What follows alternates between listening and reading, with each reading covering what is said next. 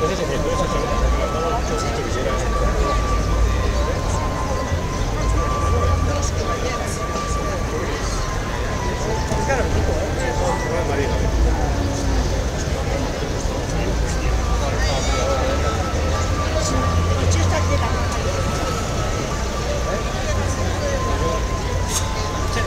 Edo trenira dira? Ah, bai, esatia. Lehen zabaltzen zen.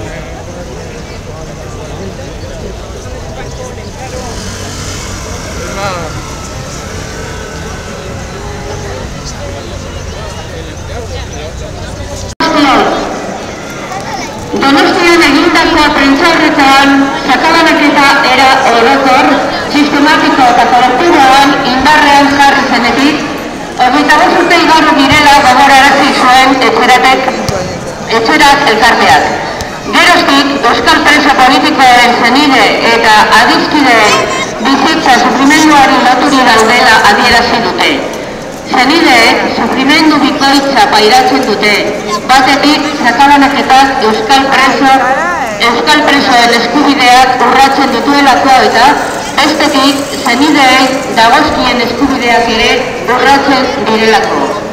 Según denuncia los gobiernos de España y Francia decidieron que estar en la cárcel y no aplicar los derechos que les corresponden era la misma cosa. Los presos y presas políticos vascos, vascas, siguen estando lejos, solos, golpeados, enfermos, sin servicios de salud adecuados, sin derechos, y sabiendo de esa situación, sus familiares tienen que vivir día a día, sabiendo que pueden saber por una llamada fría de teléfono que han encontrado muerto en su celda a su familiar preso. Sakabanaketa erabaki politiko baten ondorioa sortu zen. Era honen bidez, helburu politikoa lortu nahi zituztelako eta gaur egun ere, arduradun politikoek sakabanaketa luzatu behar dela adierazi dute. Espainia eta Frantziako gobernuek eskaintzen duten pake itxaropena egiten inguruan oinarriturik dagoela eta espetxe politika hau indargabetzeko asmorik ez dutela salatu dute. Sakabanaketa ezin da onartu eskubideak urratzen dituelako eta eskubide urraketak ezin dira onartu. Erabaki politiko hau indargabetzeko denon ekimenak, ekarpenak, urratsak eta ahaleginak beharrezkoa direla adierazi dute. Sakabanaketa denon artean ito behar dugulako. Bakean arnasteko bideak zabaltzea ezin besteko eginkizuna da. Sakabanaketa indarrik gabe ustea premiazkoa baita. Eta etxeratek gizarteari eta eragile politiko eta sozialei bide honetan aurrera egiteko deia luzatu diren. Aldi berean, gizarteak eta eragileek arduraz jokatuko dutela uste osoa dutela adierazi dute. Sakabanak eta denon artean ito behar dugu.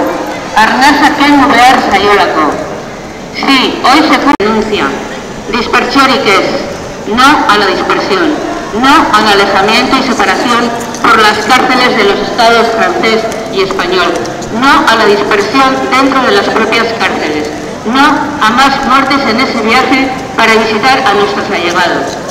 Para terminar, comentar que los presos mapuches han dejado la huelga de hambre de 39 días tras un acuerdo con el gobierno chileno después de que sus familiares hayan alcanzado un acuerdo con el director regional de Gendarmería en representación del Ministerio de Justicia, por el que el gobierno chileno se compromete a la revisión de sus penas. Mila esker elkarritaratzea etorri zareten guztioi, Euskal preso, ieslari, errefusiatu eta deportatuak etxera, Gabon.